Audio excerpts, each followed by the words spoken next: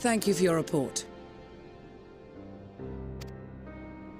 We shall inform the troops of these developments, and instruct them to proceed with the utmost caution should they encounter any survivors.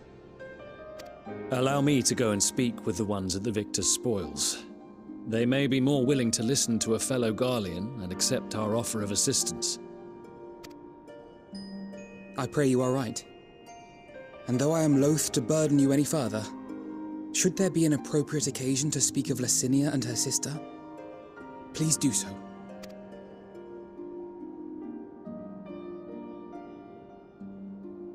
I am sorry to have put you through this. My distress is nothing compared to their suffering. So tell me, what else have we learned?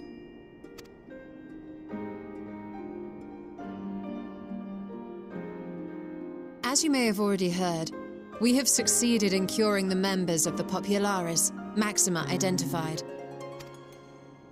They have provided us with some intriguing insights into the current state of Garlemald.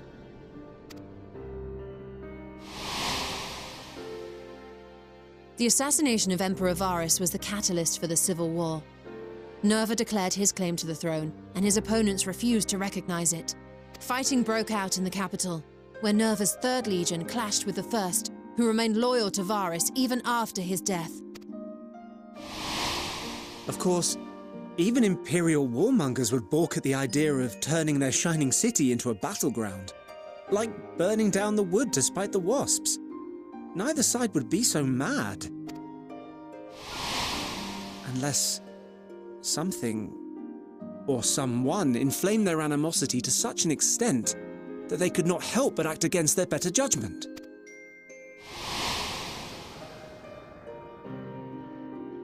It brings to mind events at the Gimlet Dark, does it not? The Emperor's sudden withdrawal from the front lines, specifically. Nerva and his father, Titus, Varis's then political rival, took advantage of rumors that Crown Prince Zenos had been possessed by a demon. Elidibus, what better way to disparage your enemies than with the truth, or a close enough approximation? Indeed. But before their accusations could be substantiated, many of Titus's followers were silenced. Uh, While some were merely stripped of their status, others died under curious circumstances. One after another, suddenly and suspiciously. Again, Elidibus. Like as not, he had a hand in it. No evidence was found to implicate Varis, certainly. Nevertheless, Titus, Nerva, and the Third Legion would have judged it a brazen attempt by the Emperor to rid himself of his political enemies. And then, in the midst of this growing turmoil, Varis zos Galvus is murdered.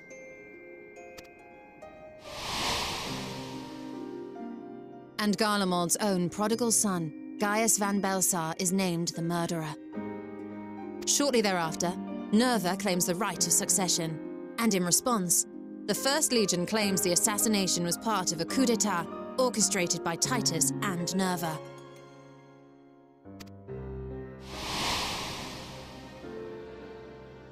So no one is at fault, and everyone else is to blame. I should add that both parties received substantial financial backing, presumably to provide them with the means and encouragement to pursue a swift victory, and that these contributions came from the self-same benefactor. I'd heard House Brutus had been filling the Third Legion's coffers, but the First as well. It would seem so. Though the Populares determined that the First Legion received funds from a variety of organizations, all had connections to House Brutus. So Fandaniel, in the guise of Asahi, was playing both sides against each other the entire time. The information we gained from my friends does not end there. One night, shortly after fighting broke out, the capital was shaken by an immense tremor. From that point onward, they have no memories, no recollection of any events, including our clash on the Magna Glacies. But when asked about the Imperial Palace and its bizarre transformation, they somehow recall Emperor Varis giving them orders in their dreams.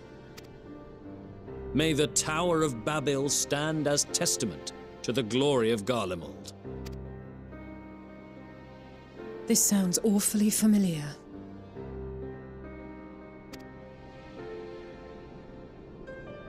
We have something to show you all.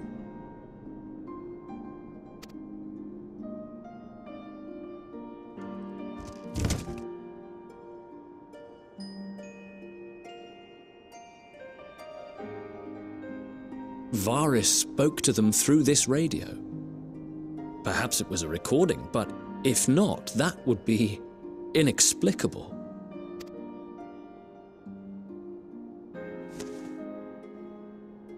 We are of one mind, then.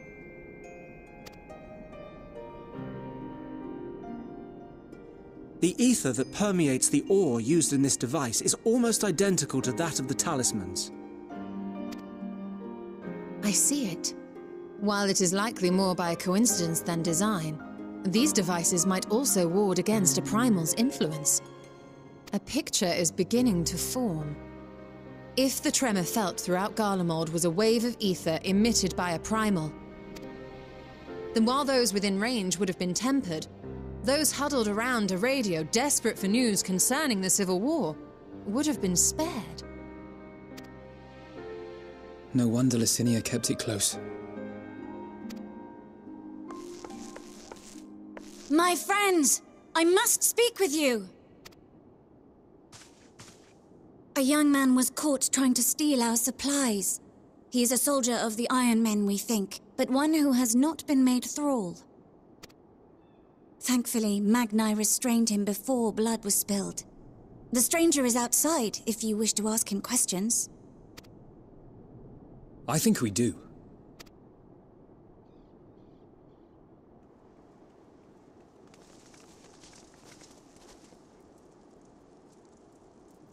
Who do we have here?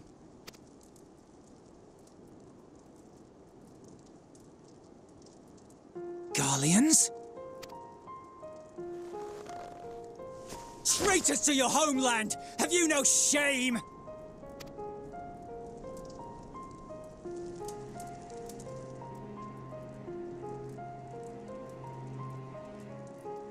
I am Lucia Junius, a Temple Knight of Ishgard. And you are? Jullus pyr Norbanus. And that's all you invaders will get from me. We are not here to invade Garlemald. Far from it. Like you, our allies in Eorzea and the Far East fight in defense of their lives and their loved ones even as we speak. But it is the people of Garlemald who have suffered most. This we know. And that is why we have come to offer you our aid, that we may unite against our common foe.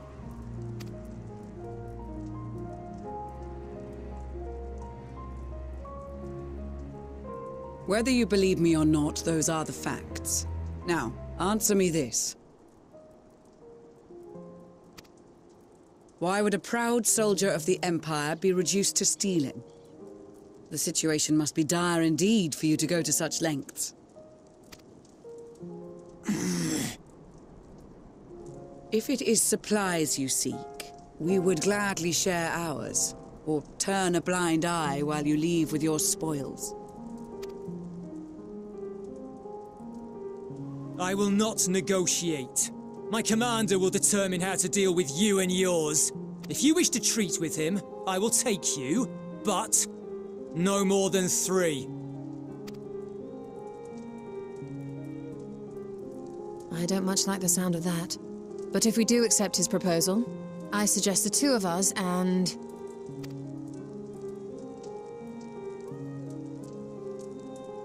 Please allow me and Alisaie to act as envoys. May I ask why? We have seen with our own eyes the hardships the Garleans face, how their futures and lives hang in the balance. It's not the warmest invitation, but it's an opportunity to prove our intentions true. Maybe not a chance to make things right, but a chance to make them better.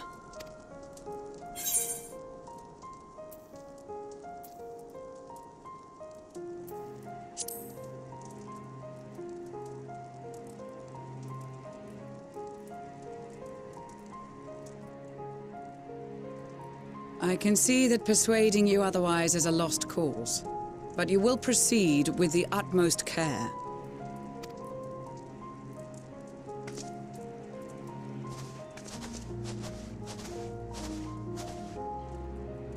A couple of children and what? A cell sword? Is this an insult? Not in the least. You will find that they are more than qualified to speak on our behalf.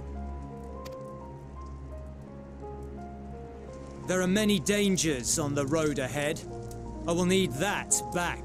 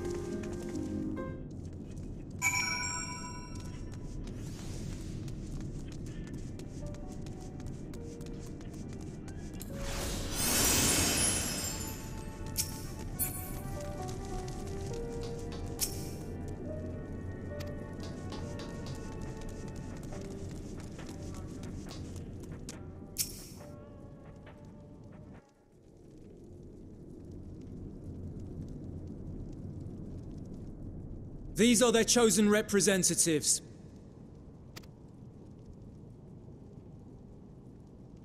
Very well. Let us hear what they have to say. Yes, sir.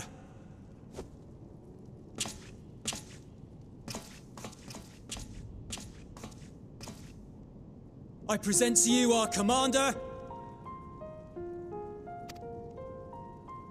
Lord Quintus van Cinna, legatus of the First Legion. The first? I had no idea you had survived.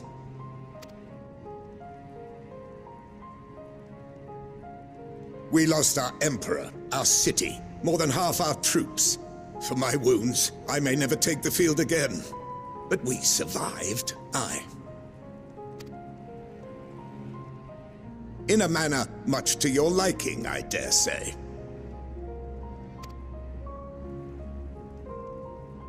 We have no intention of adding to your misfortunes, nor do we bear you any ill will. Spare me. Though you children may speak in earnest, overtures of peace ever ring hollow in my ears. So long as man stands to profit from his neighbor's suffering, war is inevitable. Driven from our ancestral homeland into this blasted waste. Yet still you yearned to rob us of our paltry scraps. 'Twas only with Magitech that you learned to keep your distance. Though we knew it was only a matter of time before you regrouped and returned. Conquest and Empire were our only defenses. Emperors Solus and Varis understood this, and through their campaigns saw us grow and prosper. Much blood has been spilled in Garlemald's name, aye. But if it is a choice between yours and mine, then it is hardly a choice at all. I do not deny that a great many conflicts throughout history were driven by the desire or necessity to gain by another's loss. That is not why we are here. Nor have we come to petition your aid in the war with the Telophoroi, grave though that threat may be. Our purpose is simply this. We wish to help you. Let us help you. If there is aught that can be done to ease your plight, we would be glad to do it. Perhaps you would.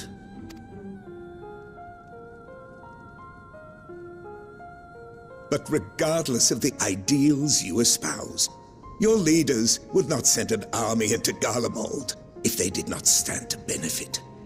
If we accept their aid, they will expect their efforts to be rewarded once the Telophoroi are no longer a threat. And after compensation and concessions, the great empire would be brought to heel. Her enemies rejoice at her downfall.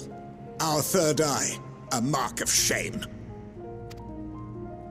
We won't stand idly by and let your people be humiliated. And we're not alone in that. We only want to make a difference, to make this world of ours better. Surely you can understand that. What I'm trying to say is, there are so, so many people who just don't care about making you suffer. And maybe that's almost insulting after all the suffering you feel the world has subjected your people to, but. Believe it or not, that's the truth. And now we're here. And all we're asking is for you to tell us what you want, what you hope for. So much blood has been shed, so much lost. All because of this endless war. Who wouldn't want to end it? Can we not work together? To face our problems as one?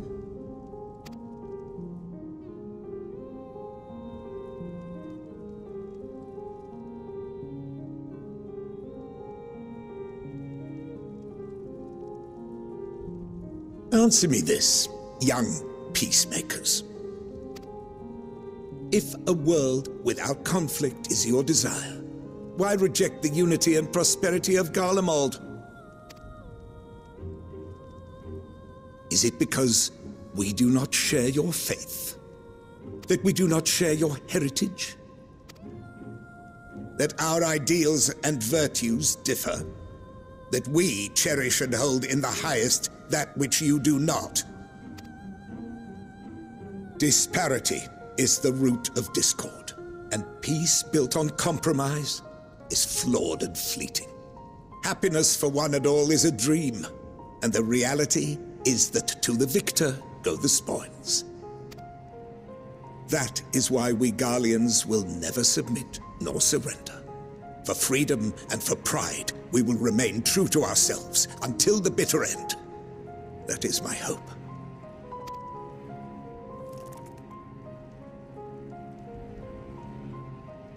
It seems there is nothing more to say on the matter.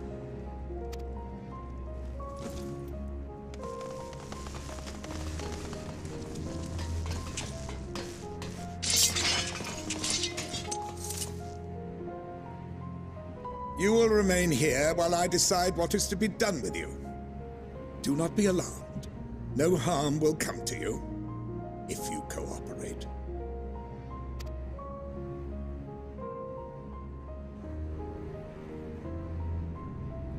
We will not resist. However, as your guests, I ask that we be allowed to speak with the other members of your group. As you wish. I had no intention of locking you up, as by dawn you would be frozen stiff and you're no good to me dead. You are free to move about the encampment, but there is one condition. Collar them.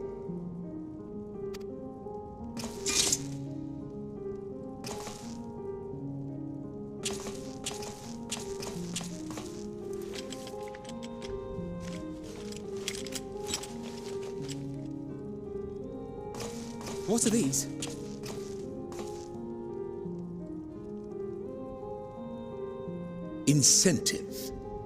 You'll be watched at all times. Stray too far or act suspiciously, and we will administer a rather painful shock. Stop.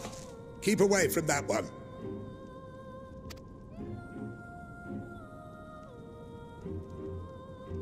The champion of Eorzea is not so easily cowed.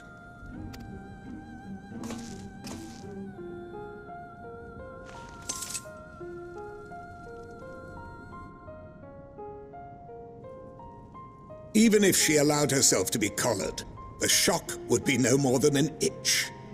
No. If she refuses to obey, we will activate the twins' restraints instead.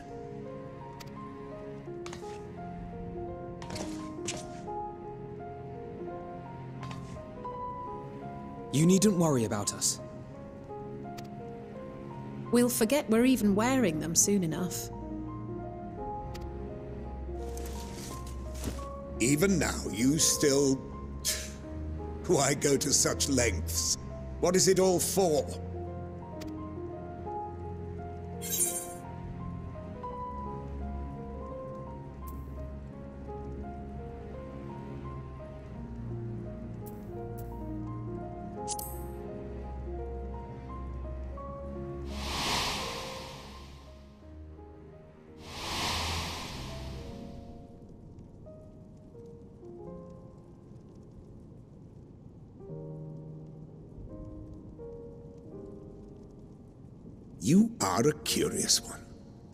Far cry from the merciless barbarian others paint you to be.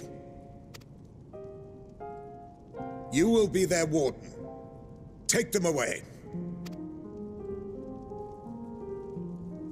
Yes, sir.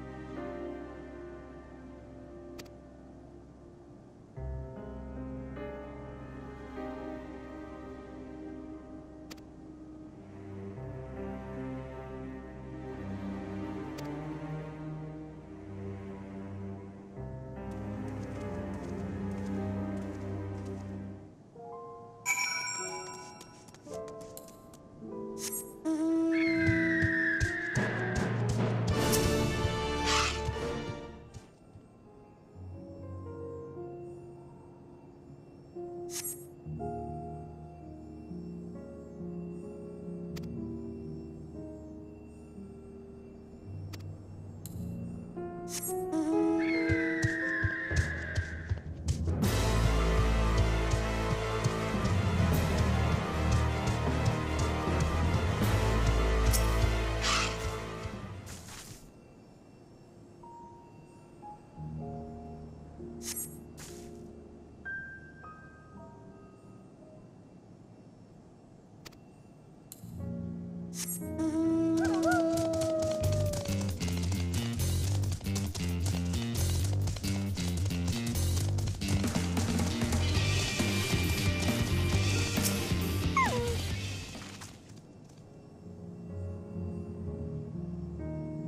you